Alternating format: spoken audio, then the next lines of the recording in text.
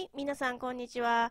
今日は先日11月の10日日曜日、大阪城公園太陽の広場で行われた2019大阪動物愛護フェスティバルに行ってきましたので、その中から、えー、盲導犬と介助犬のデモンストレーションの様子をご紹介したいと思います。それぞれ一部分だけになりますけれども、どうぞご覧ください。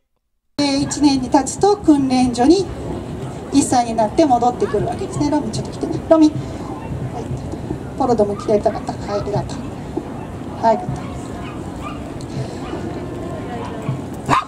で訓練士は訓練所に来て、えー、どんなことをするかというとこの子が盲導犬にした時に向いてる性格かなどうかなという性格をまず見ます。いろんなところに歩いていって歩いてみたりえー、その様子を見たり大きな音をバーンと立てて怖がるかなどうかなっていうのを見ます。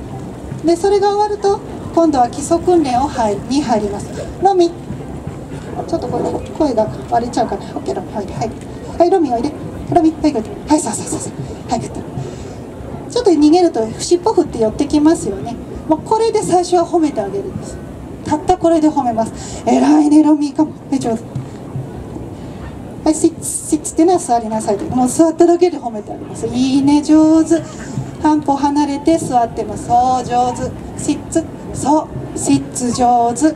シッツっていうのは簡単ですけれども、だんだん私が動いても座ったまま、あ、そう、これがステイ、待てだよ。そう、上手。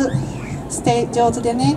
最初は簡単なことから視覚障害者の方はリードを引いてあ張ってても犬が止まってるな動かないなちゃんと私の言うことを聞いて待ってるなということが分かります。そうステイグッド上手そう上手ステイ上手。ね最初は簡単なことですけれどもそうやってちょっと難しいことをしていってできたらしっかり褒めます。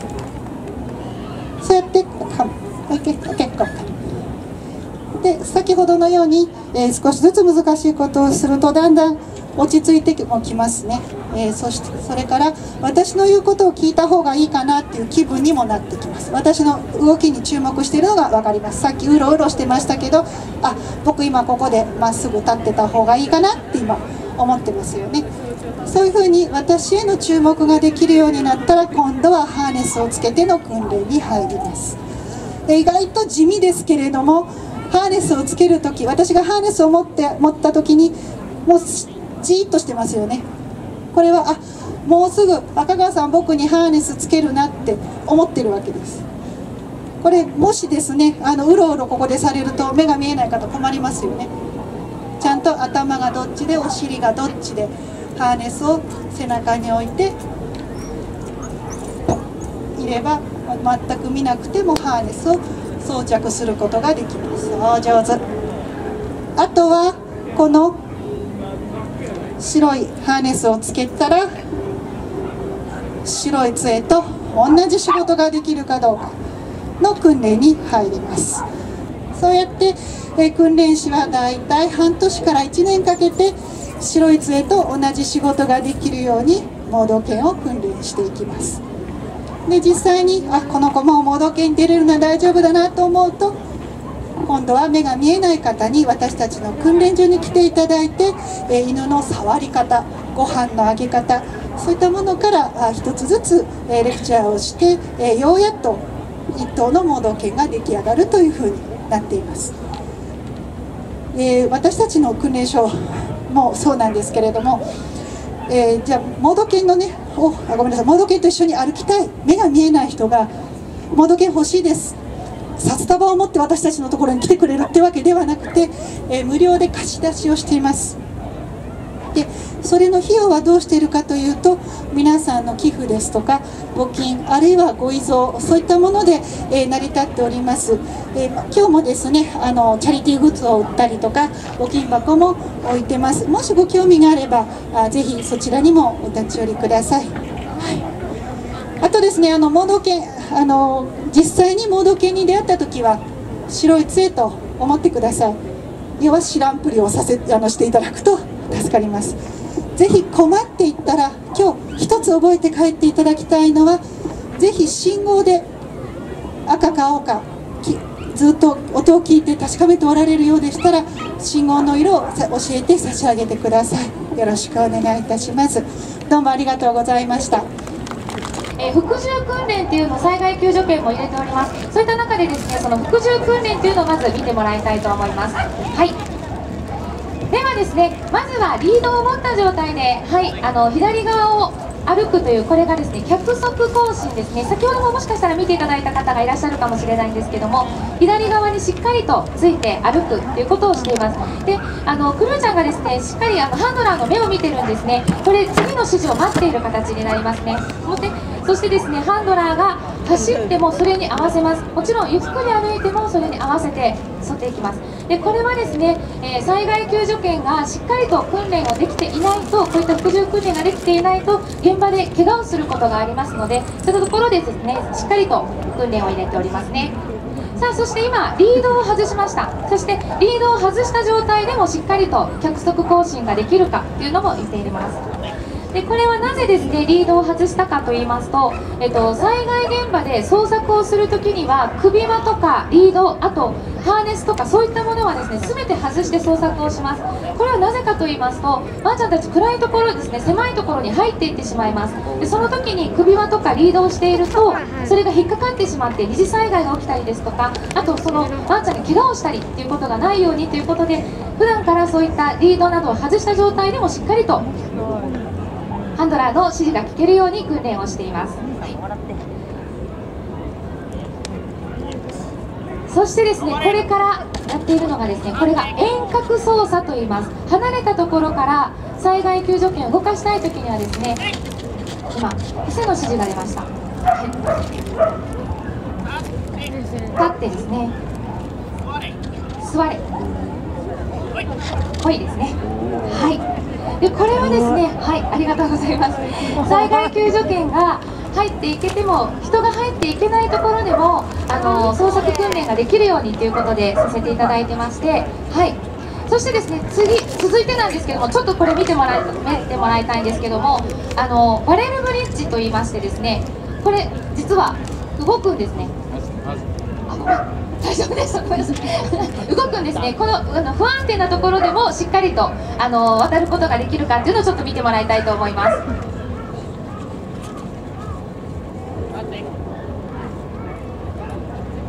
ちょっと動いてるんですけれどもそれでもですねしっかりと乗ってくれてますね。はい。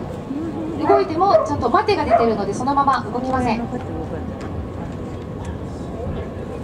い OK ですうございます。そしてですねもう一つありがとうございます。もう次なんですけどもこれはしごなんですね。はい。このはしごっていうのはなぜこれがあの必要かと言いますと災害現場などで、えー、自衛隊の方とかが先に通った時にそういったはしごをかけていただいたりとかいうのがあるんですね。で災害現場に行くためにはそこを渡らないといけないっていうことがありますのでこういったはしごを渡る訓練っていうのもしています。でも犬にとってはしごってとても怖いですよね。でもちゃんとしっかりと渡ってくれると思います。ではお願いします。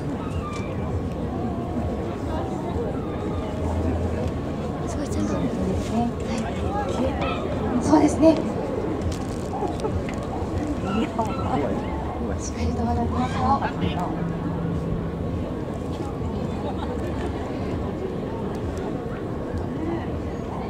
はい渡りきりました。大きな拍手をお願いいたします。はい。くるちゃん頑張ってくれました。ありがとうございます。さあそうしましたらですねくるちゃん頑張っていただいたんですけれども今度はですねここに3つのボックスがあります。でこのボックスの中にですねどなたか入っていただいて災害救助犬がですねどういうふうに鼻を使って人を探すのかっていうのをちょっと見てもらいたいと思うんですけれども、えっと、どなたか入りたい方。はい。あのえっと、なのでですね人を探しています。ということはですね実は金蔵君がもし皆さんの方に行って吠えたとしても見つけたって言って吠えたとしてもそれは間違いではないですね。皆さん生きてますよね。なので人の匂いを嗅いでますのでこっちにいる方の方が濃い匂いです。はい。でそれでですねあのこの金蔵君でやる気満々なんですけれどもはい。で見つけると吠えて知らせる形になります。はい。それではお願いします捜索開始しました。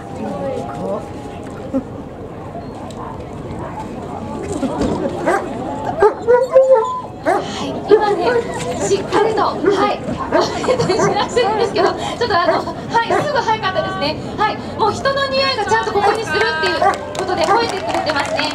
さあ大丈夫ですか？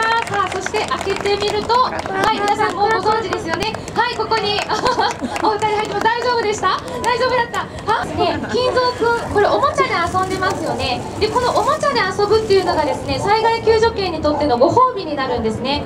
で見つけた人が遊んでくれるっていうのがまず救助犬がですね人人を探すようになるあの訓練の方法なんですよ。でそうすると遊んでもらう人を見つけるために捜索をするっていう形でもうこの訓練というよりかはですねはいえっとそうですね遊びの延長になります。そ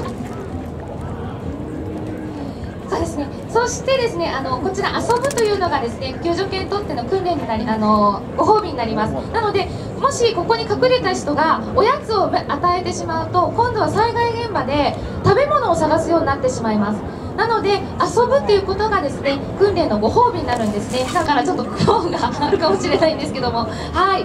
さあはい入ってもらいましたよ。てかってちょっと取れるか分からんけどいいこれじゃあ金属お願いします。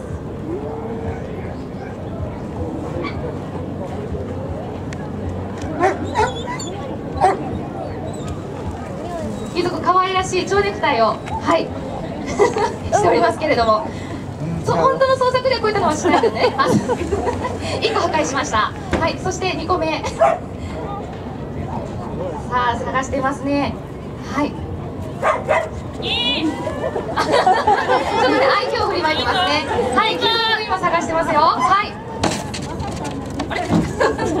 はい。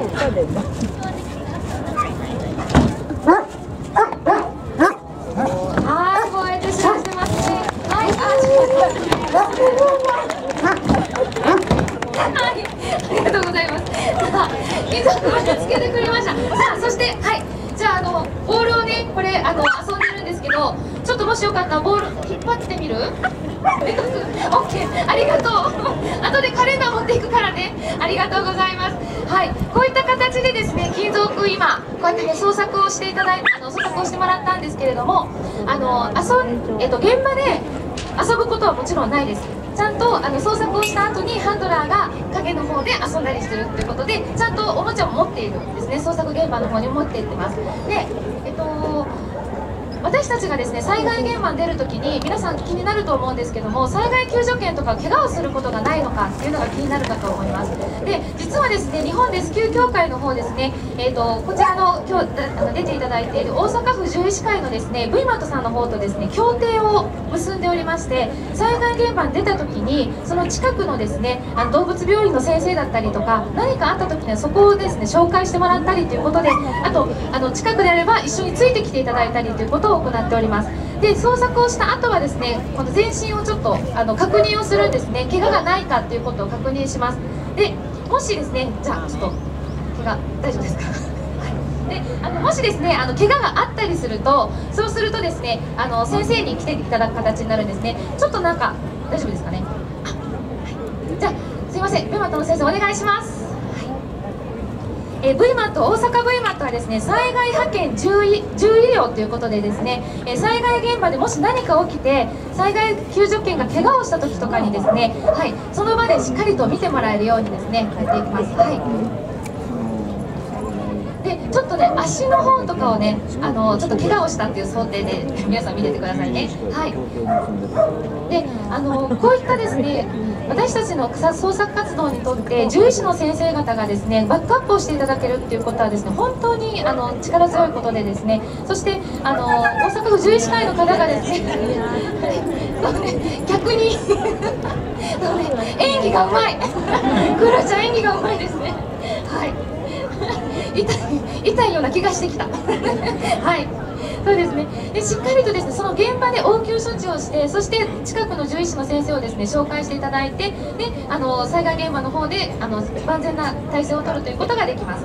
はい。ありがとうございます、はい、じゃあ金属あはしご大丈夫ですか？はい。ありがとうございます。じゃあそしたらですね救助犬の方ですねあの大きな拍手をお願いしたいと思うんですけど金属そしてフルーチョンでした。ありがとうございます。かがでしたでしょうか？今回このイベントに初めて行ってきたんですけれどもいろいろ勉強になったし楽しむことができました。またこういう機会があったら行ってみたいと思います。皆さんも興味があったらぜひ行ってみてください。ご視聴ありがとうございました。